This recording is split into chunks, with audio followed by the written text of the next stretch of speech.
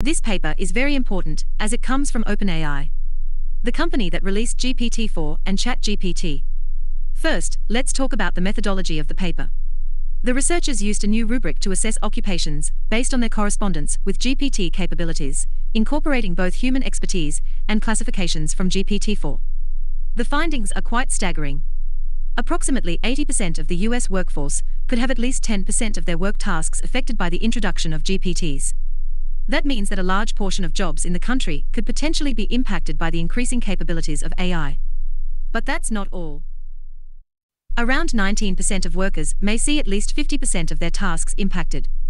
That's a significant number of people who could be affected by the rise of AI in the workplace.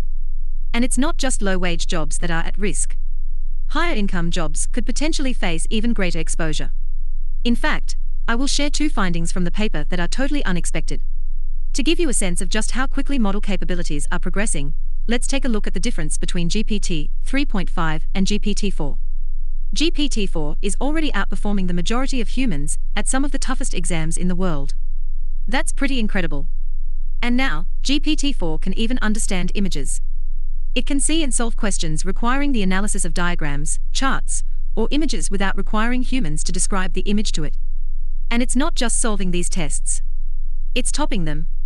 The performance improvements are seen even without the visual capabilities of GPT.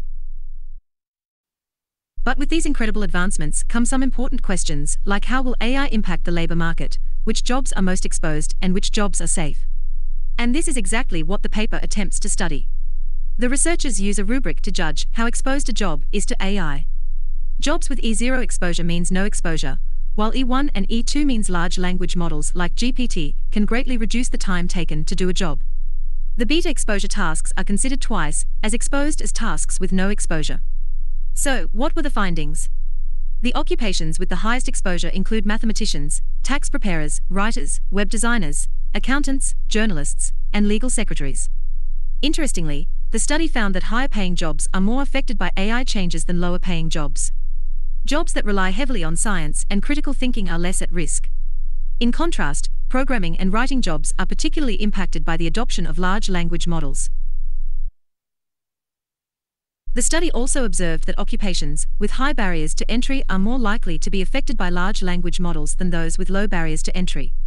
But what about jobs with no exposure to large language models? Well, the study found that these mainly include manual occupations such as stonemasons or cooks, which can usually be learned after a shorter period of schooling and do not require many years of study upfront. However, the study notes that even these occupations are likely to be indirectly impacted by the adoption of large language models. As office jobs become obsolete, there may be increased competition for manual labor, leading to increased performance pressure in those segments. So, what are the policy implications of all this? The authors of the paper say that large-scale preparedness is needed for the potential economic changes these models will bring. Previous studies have linked LLMs to increasing economic disparity and labor disruption. It's important to be proactive and think about ways to mitigate these potential negative impacts. Towards the end of the paper, the authors make an interesting comparison saying GPTs are GPTs. They mean that GPTs are like general purpose technologies such as electricity, fire, or mobility they have a major impact on the entire economy.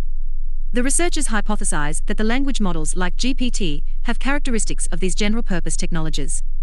Interestingly, the paper provides two versions of the conclusion, one written by GPT 4 and one augmented by the human authors. Perhaps this is a precursor to the future of work where AI models and humans will increasingly co create. This brings us to the end of our video.